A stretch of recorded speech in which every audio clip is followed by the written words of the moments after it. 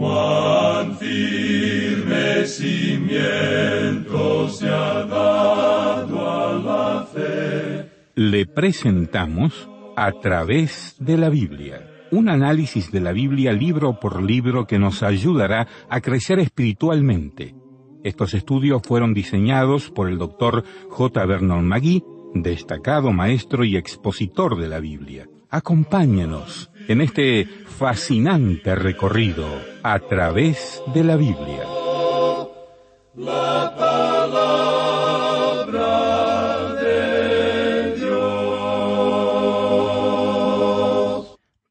Continuamos hoy, amigo oyente, viajando por esta primera epístola del apóstol Juan, y estamos en el capítulo dos. Vamos a comenzar con el versículo 23, y aquí Juan nos dice que él ya ha identificado al anticristo para nosotros. Ahora, anticristo es alguien que niega al Padre y al Hijo. Y en el versículo 23 él nos presenta claramente que uno no puede negar al uno sin negar al otro. Amigo oyente, la deidad de Cristo es algo esencial para su salvación, porque si Él no es Dios hecho hombre, que murió en la cruz hace más de dos mil años, tampoco puede ser su Salvador.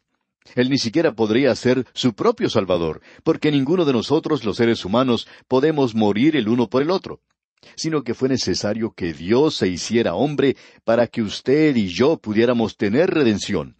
Por tanto, Juan dice aquí en el versículo 23 de este capítulo dos que estamos estudiando, Todo aquel que niega al Hijo, tampoco tiene al Padre. El que confiesa al Hijo, tiene también al Padre. Usted puede apreciar entonces, amigo oyente, que cuando usted dice que cree en Dios y niega la deidad de Cristo, en realidad no está creyendo en Dios. Por lo menos no cree en el Dios de la Biblia. El Dios de la Biblia es aquel que envió a su Hijo al mundo para morir por nuestros pecados, y Él es Dios. Y ya que es Dios, Él solo fue quien pudo realizar un sacrificio satisfactorio ante Dios por nuestros pecados. Si Él hubiera sido otra cosa, Él mismo hubiera sido un pecador. Por eso es que dice aquí en el versículo 23, leamos otra vez, Todo aquel que niega al Hijo, tampoco tiene al Padre.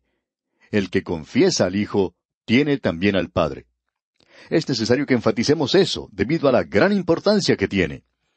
Ahora, siguiendo más adelante en este capítulo, vemos que el versículo 24 comienza diciendo, Lo que habéis oído desde el principio, permanezca en vosotros. O sea que el principio que menciona Juan se refiere a la encarnación de Cristo. Y Juan les dice aquí lo que habéis oído desde el principio, aquello que habéis oído en cuanto a su encarnación. Eso se encuentra en el Evangelio según San Juan. Lo que habéis oído, pues, en cuanto a su vida, lo que habéis oído en cuanto a su muerte, lo que habéis oído en cuanto a su resurrección, todo eso permanezca en vosotros. Y el versículo 24 continúa diciendo, si lo que habéis oído desde el principio permanece en vosotros, también vosotros permaneceréis en el Hijo y en el Padre. Es esencial, por tanto, el tener una fe viva que descanse en aquel que vino a esta tierra hace más de dos mil años. Y Juan dijo, y aquel verbo fue hecho carne y habitó entre nosotros. El verbo se hizo carne. ¡Cuán tremendo es esto, amigo oyente! A Dios nadie le dio jamás. El unigénito Hijo que está en el seno del Padre, Él le ha dado a conocer. Así es que nosotros podemos saber en cuanto a Dios porque Dios se ha hecho hombre, y esa es la única manera en que usted y yo podemos saber en cuanto a Dios. Nosotros sabemos en cuanto a Dios, podemos conocerle a Él, y lo importante de toda esta sección aquí es la comunión con el Padre y con el Hijo. El énfasis aquí no está en tener una vida en Cristo por medio de la fe en Él, sino que es ahora el tener comunión y disfrutar de esa comunión con Él. Sigamos adelante. El versículo 25 de este capítulo dos de la primera epístola del apóstol Juan dice, Y esta es la promesa que Él nos hizo, la vida eterna. Este versículo es muy importante porque se une al versículo siguiente, el versículo 26, que dice, Os he escrito esto sobre los que os engañan. Es decir, había aquellos que ahora comenzaban a negar al Padre y al Hijo, comenzaban a negar que el Señor Jesucristo era quien decía ser. Estos eran engañadores. Algunos de ellos eran profesores. Juan dice, aquello a lo cual es necesario asirse, aquello de lo cual es necesario agarrarse es esto, que Dios prometió a cada uno de nosotros vida eterna si depositamos nuestra confianza en Cristo. Y él dice, no es necesario añadir nada a eso, no es necesario aprender aquello que los gnósticos nos están enseñando. Ellos pretenden tener un conocimiento superior. Ellos sí conocían un poquito más quizá que algunas otras personas. Y tememos, amigo oyente, que en el día de hoy existe un gran peligro en esto. Hay muchas personas que están asistiendo a clases bíblicas y existe entonces el peligro de llegar a creer que uno es un super santo, superior a los demás. En cierta ocasión, una señora conversaba con su pastor. Era una creyente muy buena, por cierto, y hablaba en cuanto a esto de asistir a las clases bíblicas. Y en realidad no fue muy halagador lo que dijo. Ella estaba asistiendo a algunas clases bíblicas que, por cierto, son muy buenas. Esperamos, amigo oyente, que no nos malentienda, ya que no las estamos criticando. Pero esta dama estaba adoptando una actitud de superioridad en cuanto a su esposo, como si ella supiera más de lo que él sabía y que ella era en realidad la que podía enseñarle a él. Y la verdad era que no era así. Lo que ocurría es que su esposo no podía asistir a tantas de esas clases de enseñanza bíblica de la misma manera en que ella lo podía hacer. Pero la actitud que ella había adoptado tenía cierto efecto en la vida del esposo. Así es que existe ese peligro, amigo oyente, el peligro del gnosticismo en el presente, de profesar el tener un conocimiento superior y quizá una experiencia superior, y entonces uno llega a ser un santo superior, uno de esos supersantos, que no hay nadie como usted en su clase.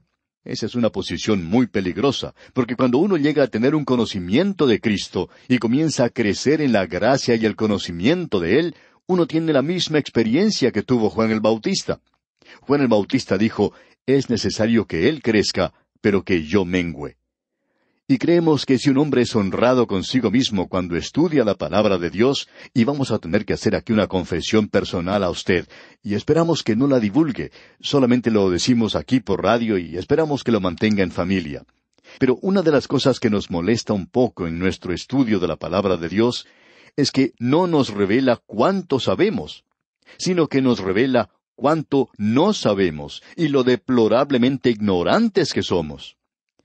Y cuando damos una mirada retrospectiva a nuestro ministerio y vemos las cosas que estamos estudiando ahora en la Biblia, nos damos cuenta que no sabíamos tanto como pensábamos que sabíamos.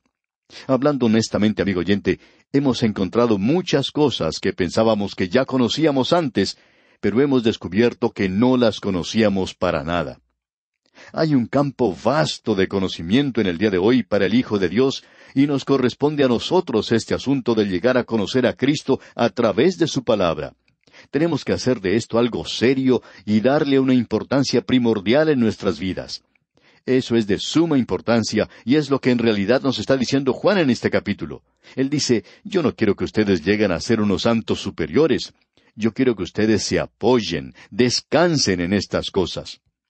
Ahora Él está entrando en un área donde va a decirles de manera muy directa que si conocen a Cristo como Salvador, deben mantenerse asidos de eso.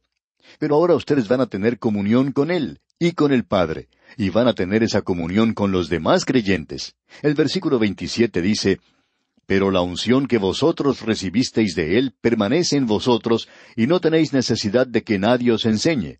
Así como la unción misma os enseña todas las cosas, y es verdadera y no es mentira, según ella os ha enseñado, permaneced en él.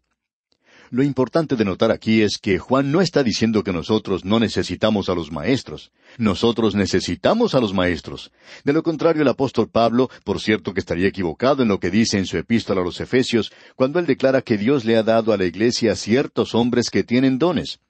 Algunos para enseñar, otros para ser evangelistas, otros para ser pastores que puedan ministrar a la gente.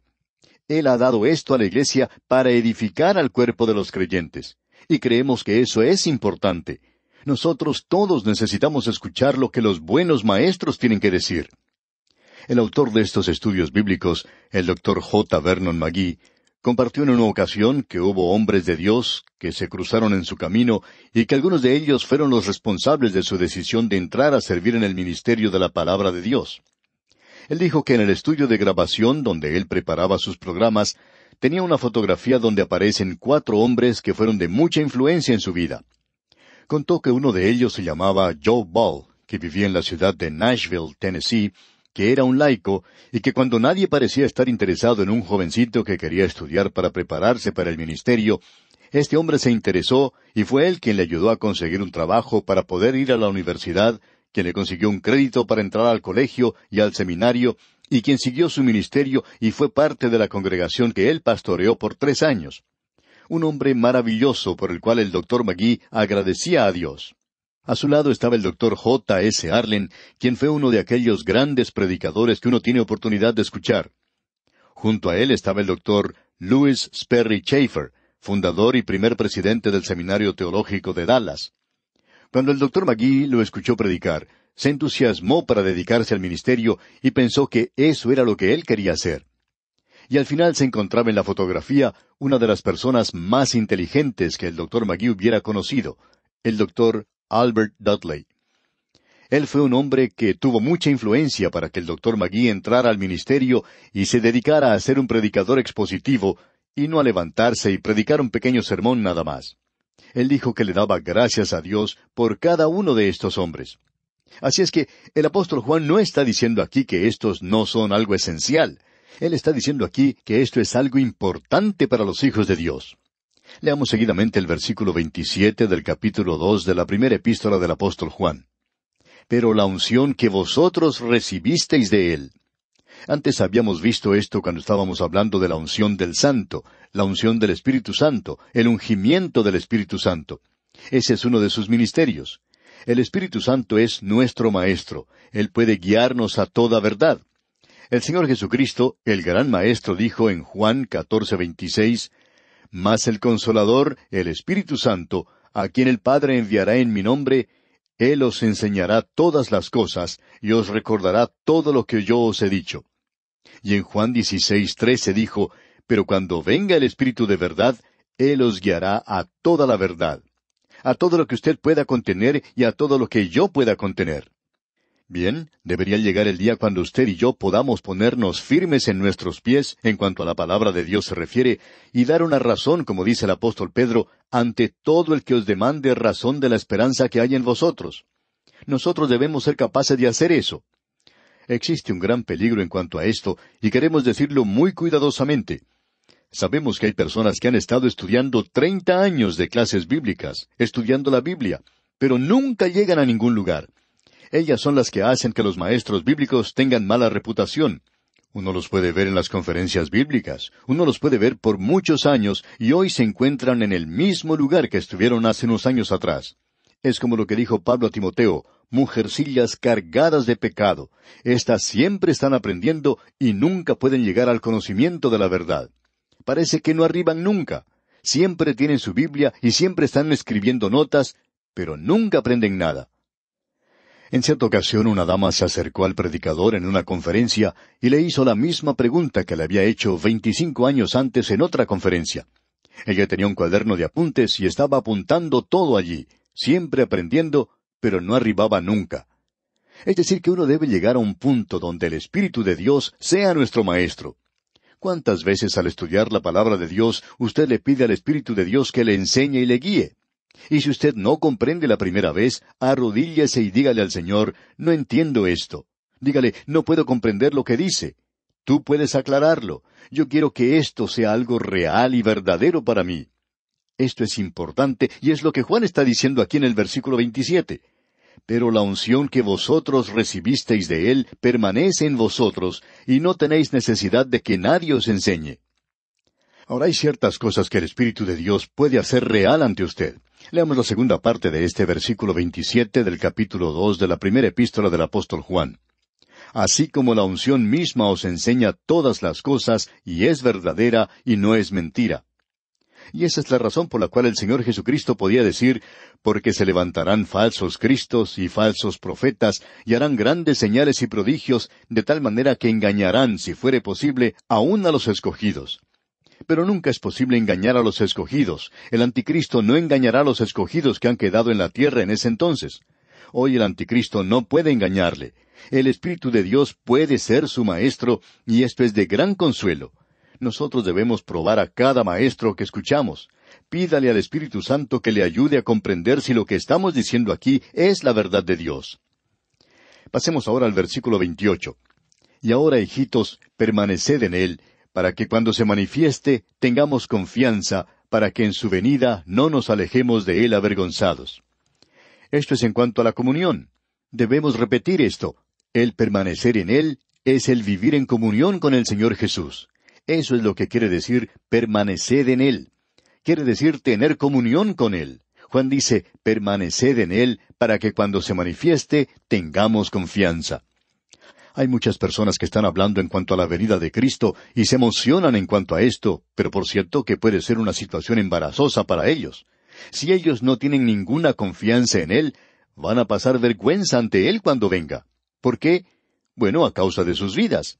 El Señor Jesucristo dice, He aquí yo vengo pronto, y mi galardón conmigo, para recompensar a cada uno según sea su obra. Ellos van a estar buscando su recompensa y algunos descubrirán que no tienen ninguna. Como dice el apóstol Pablo allá en su primera epístola a los Corintios, capítulo tres, versículo quince. Si la obra de alguno se quemare, él sufrirá pérdida, si bien él mismo será salvo, aunque así como por fuego. Algunos van a ser salvos como por fuego, sus obras serán consumidas por el fuego porque sólo han sido heno y hojarasca, es importante tener una vida que encomiende el Evangelio, y lo que Juan dice aquí es lo mismo que había dicho Pedro, que una falsa doctrina y una falsa vida van juntas, y que una doctrina verdadera y una vida verdadera van juntas. De vez en cuando uno escucha en cuanto a algunos de los líderes de algún culto y se entera que esta persona tiene problemas porque es culpable de adulterio, porque es culpable de apoderarse del dinero que no le pertenece o de hacer esto o aquello. ¿Por qué? Porque la falsa doctrina lleva a una falsa forma de vivir, mientras que la doctrina verdadera lleva a una forma de vivir verdadera. No hay nada que pueda afectar su vida tanto como el conocimiento de que usted puede estar en la presencia de Cristo y rendir cuentas de lo que ha hecho. Cada creyente se presentará ante el tribunal de Cristo, y Pablo dice, porque es necesario que todos nosotros comparezcamos ante el tribunal de Cristo para que cada uno reciba según lo que haya hecho mientras estaba en el cuerpo, sea bueno o sea malo.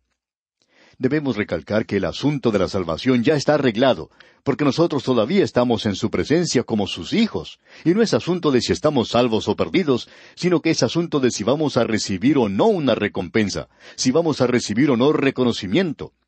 Habrá algunos que no van a recibir ni recompensa ni reconocimiento.